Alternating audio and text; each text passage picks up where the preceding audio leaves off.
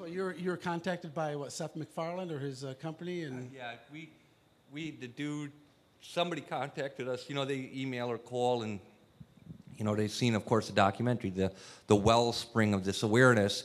And they called and says, hey, you want to do this? And Mike and I, we recorded the voices in Milwaukee.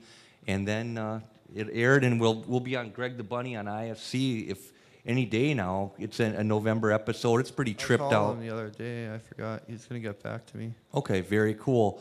So, and then we did uh, Halloween night live from Wisconsin on G4, which was a blast, man. Live TV, that was a blast.